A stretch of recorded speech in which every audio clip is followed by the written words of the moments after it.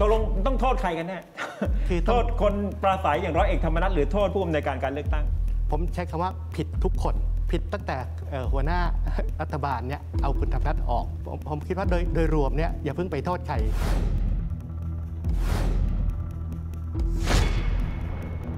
ธรรมนัฐเองผมก็คิดว่าเขาเองเขาอาจจะพลั้งเผลอหรืออาจจะเหมือนกับว่าพูดบนเวที ซึ่งอารมณ์ความมันอาจจะออกไปทำนองแบบนั้น ถ้าธรรมนัฐไม่ปราศัยเลย ก็อาจจะโทษธรรมนัฐบอกว่านี่ไงไม่ช่วยก็เลยแพ้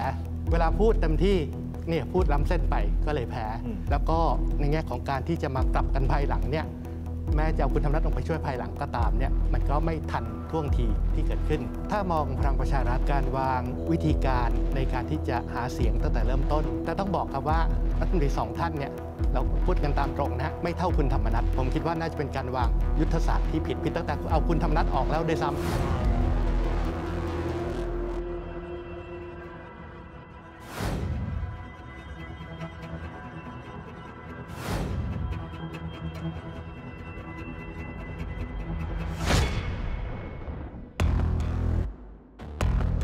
แนนเท่านี้เนี่ยผมว่าต้องน่าพอใจ เพียงแต่ว่า 2 ที่นั่งเนี่ยที่อาจจะเดิมอาจจะมั่นหมาย คิดว่าน่าจะได้สักประมาณหนึ่งที่ก็กลับไม่ได้ แล้วก็แพ้ไป ถ้ามองพลังประชารัฐการวางวิธีการในการที่จะหาเสียงตั้งแต่เริ่มต้นนะครับ การเอารัฐมนตรีลงไปเนี่ยคือสูตรที่เขาใช้ในทุกครั้ง เขาก็คิดว่ากลไกของรัฐมนตรี เมื่อลงไปในพื้นที่แล้วเนี่ยมันก็จะเป็นเหมือนกับว่าสร้างความตื่นเต้น ช้างเหยียบนาพญาเหยียบเมืองครับทำให้คนมาเฮโลกันมา แล้วก็อาจจะใช้สิ่งที่เป็นแผนงานโครงการต่างๆ ของทางราชการเนี่ยเป็นสิ่งที่เหมือนกับจูงใจให้ประชาชน มาใช้สิทธิ์เลือกตั้งเลือกเขานะครับสูตรแบบนี้เคยใช้ได้ผลที่ลำปาง ผมจะศึกษาเจาะลึกเลยนะว่าใครลงไปบ้างคุณธรรมนัฐลงไปกี่ครั้งนะคุณประวิทย์ลงไปกี่ครั้งยังไงไปพูดกับใคร เจอกับชุมชนต่างๆ อย่างไร นี่คือสูตรสำเร็จที่ใช้เนื่องจากว่าเขาเป็นรัฐบาล แต่ว่าออหน้าตาของการเลือกตั้งคราวนี้กลับกลายเป็นว่าอย่างที่หนึ่งก็คิดว่าเอารัฐมนตรีลงไปก็ดี ก็เลยมอบหมายครับรัฐมนตรีคนนี้ลงไปเป็นผู้ในการการเลือกตั้งของชุมพร รัฐมนตรีคนนี้นะเป็นผู้ในการการเลือกตั้งของทางสงขลาแต่ต้องบอกครับว่ารัฐมนตรีสองท่านเนี่ยเราพูดกันตามตรงนะฮะไม่เท่าคุณธรรมนัฐธรรมนัฐในสมัยที่เป็นรัฐมนตรีช่วยเนี่ยเขาสามารถระดมสิ่งต่างๆนะผมเรียกว่าเป็นทรัพยากรเอ่อเป็นเรื่องของการที่ใช้กลไกของรัฐต่างๆเนี่ยเข้าไปช่วยสนับสนุนในการเลือกตั้งได้อย่างเต็มที่ แต่สองท่านนั้นเองอาจจะไม่เท่านะผมจะว่าไม่เท่า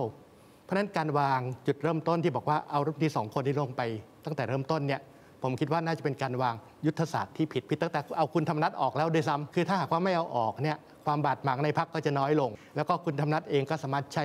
พลังของเขาเนี่ยในการทำให้เกิดความสำเร็จได้เต็มที่เพราะฉะนั้นมันก็ต้องย้อนกลับไปถึงตรงนั้นนะฮะตอนนี้เมื่อมาการเลือกตั้งสงขลากับชุมพรเนี่ยเมื่อเริ่มต้น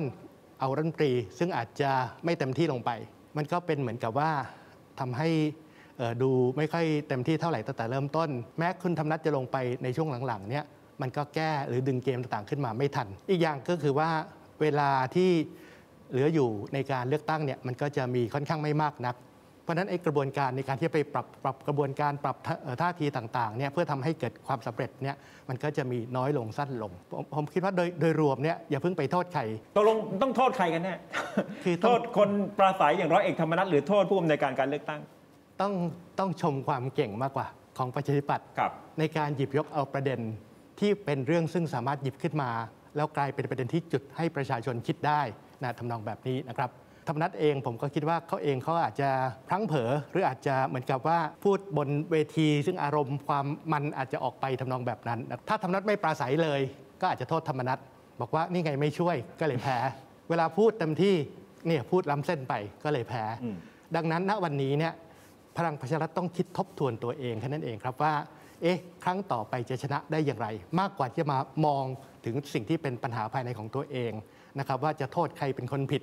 ผมใช้คำว่าผิดทุกคน ผิดตั้งแต่เอ่อหัวหน้ารัฐบาลเนี่ยเอาคุณธรรมนัฐออก ผิดตั้งแต่การวางยุทธศาสตร์ว่าจะเอาใครมาลงเป็นผู้อำนวยการในแต่ละพื้นที่ แล้วก็ในแง่ของการที่จะมากลับกันภายหลังเนี่ยแม้จะเอาคุณธรรมนัฐลงไปช่วยภายหลังก็ตามเนี่ยมันก็ไม่ทันท่วงทีที่เกิดขึ้น ผมคิดว่าพื้นที่ของภาคใต้เนี่ยอาจจะแตกต่างจากพื้นที่ของที่อื่น ต้องยอมรับว่าประชาธิปัตย์เองเนี่ยเขาเคยมีรากฐานที่เป็นฐานคะแนนเสียงเดิม เพียงแต่ว่าการเลือกตั้งทั่วไปครั้งที่ผ่านมาเมื่อปี 62 เนี่ยประชาธิปัตย์ประมาทเกินไป คิดว่ายังไงคนก็เลือกประชาธิปัตย์แต่ไม่คิดว่าสิ่งที่ทางพรรคพลังประชารัฐทำเนี่ยก็คือการเอาโครงการของรัฐลงไปนะครับ แล้วก็เป็นเรื่องของเงินในกระเป๋าที่จะให้ประชาชนในรูปแบบต่างๆ ไม่ว่าจะเป็นบัตรสวัสดิการประชารัฐนะอยู่ดีๆก็มีเงิน 600 บาทให้ทุกเดือนในกระเป๋า เอาไปซื้อของได้ครึ่งหนึ่งเป็นเงินสดครึ่งหนึ่งอย่างนี้เป็นต้น หรือจะมีเรื่องของสวัสดิการต่างๆนะมีเรื่องของการที่จะให้ประชาชนสามารถซื้อของได้ในราคาถูกร้านธงฟ้าประชารัฐต่าง ๆ เหล่านี้เนี่ยไม่คิดว่าไอโครงการเหล่านี้เนี่ยมันจะเป็นสิ่งที่ก่อให้เกิดผลสำเร็จ แล้วเขาก็เกิดชาวบ้านก็จะเกิดการเปรียบเทียบว่าในสมัยหนึ่งประชาธิปัตย์เอ๊ะทำไมไม่เคยทำแบบนี้นะพลังประชารัฐถึงทำแบบนี้ขึ้นมา สิ่งนี้เป็นสิ่งที่ทำให้เขาแพ้ในการเลือกตั้งเมื่อปี 62 ในหลาย ๆ พื้นที่ ณ วันนี้เนี่ยผมก็คิดว่าก็น่าจะมีการปรับกระบวนการพอสมควรแล้วว่าจะประมาทไม่ได้